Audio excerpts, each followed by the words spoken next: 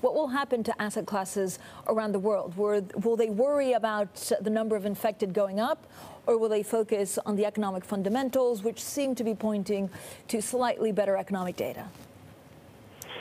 Um, you, are right to point out to this uh, this huge uncertainty we're seeing, and the uh, the obvious uh, fact is that uncertainty is, is good for markets.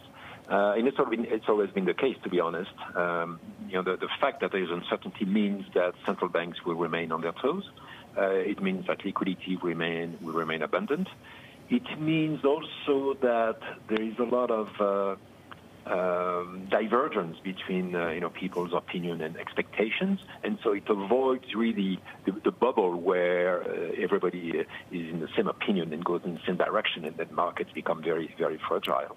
Uh, and I would add one one more thing, which is that as long as the economy remains uh, remains quite weak because the demand side remains affected by the, the fear of contagion and, and so on, it means that all this liquidity that is being poured in, into the system, instead of leading to uh, you know consumer price inflation, you know keeps leading to asset price inflation.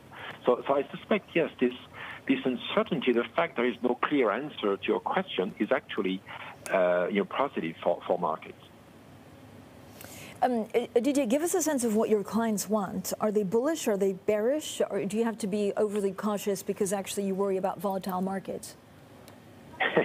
well, it, it, it, sort of goes back to uh, to the previous point that there is uh, there is really a lot of uh, discrepancy, uh, you know, between uh, the the ones that are just uh, you know playing the momentum, the ones that are scared as to where this is all all leading, and that results into pretty much a a two-tiered market. You know, you, you have those um, you know, very, uh, very spicy uh, stocks, which nobody, uh, uh, at least no professional investor, probably would uh, would want to own for the long-term portfolios.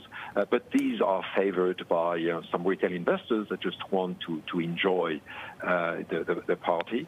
but professional investors, you know. Um, and certainly uh, at Carmignac, we, uh, we, we feel like we're not alone in, in this uh, in this camp, we consider that this discrepancy between the economy, which surely is going to recover uh, very slowly uh, at best, and um, you know, major uh, support from policymakers means that what you want to own is, is exactly, and they, they need to, to fit the profile of companies that do not get hit or even benefit you know, from the, the, this uh, very slow uh, you know, retail demand, uh, and at the same time, you know, do benefit from uh, from this policy support. And basically, it goes back to the uh, the old winners, uh, which is basically the, the, the ones benefiting from the structural trends. So the you know the shift to online retailing, uh, you know, the, the, the, growing rate of uh, adoption of e-commerce, uh, online gaming, digital disruption, green activities, and so on.